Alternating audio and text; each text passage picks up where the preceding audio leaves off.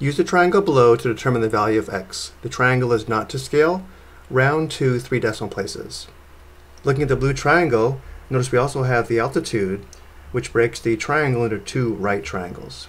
We have a right triangle on the left, this right triangle here, and we also have a right triangle on the right, this triangle here. Our goal here is to determine the value of x.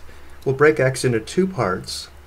On the left, we'll let this short leg of the right triangle on the left have a length of a units. And we'll let the leg of the right triangle on the right have a length of b units.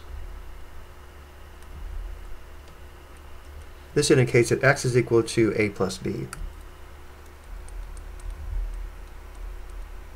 And now because we have two right triangles, we can use right triangle trigonometry to determine the values of a and b, and then sum a and b to determine x. Focusing on the right triangle on the left, and the angle of 53 degrees, notice the leg with a length of 112 is the opposite leg, and a would be the adjacent leg. This indicates we can use the tangent function to determine the value of a. Recall tangent theta equals the ratio of the opposite side to the adjacent side, which indicates tangent 53 degrees is equal to 112 divided by a.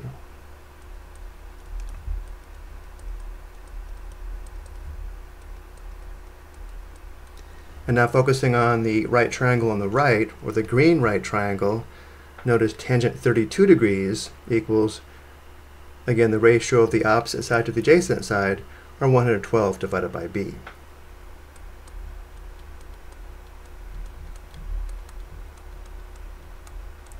Now we'll solve the first equation for a, solve the second equation for b, and then sum a and b.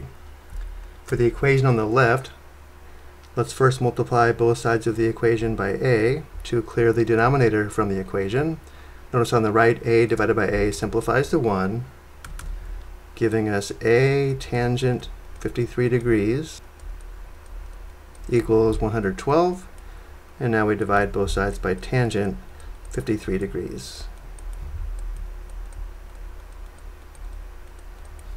Simplifying we have a equals 112 divided by tangent 53 degrees. For the equation on the right, we'll multiply both sides of the equation by b to clear the denominator from the equation. On the right, b divided by b simplifies to 1, giving us b times tangent 32 degrees equals 112. And now we divide both sides by tangent 32 degrees. Simplifying, we have b equals 112 divided by tangent 32 degrees. Now that we have a and b, we can determine x.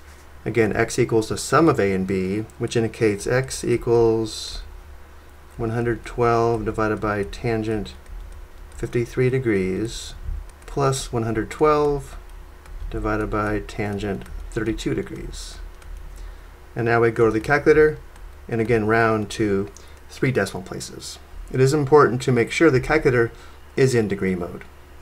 I'll be using the Desmos Scientific Calculator, but again, whichever calculator you use, make sure it is in degree mode.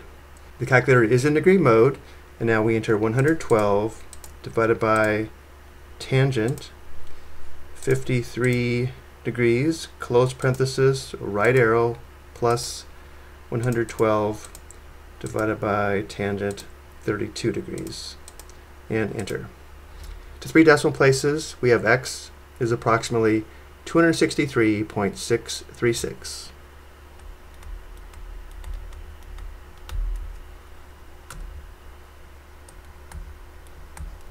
I hope you found this helpful.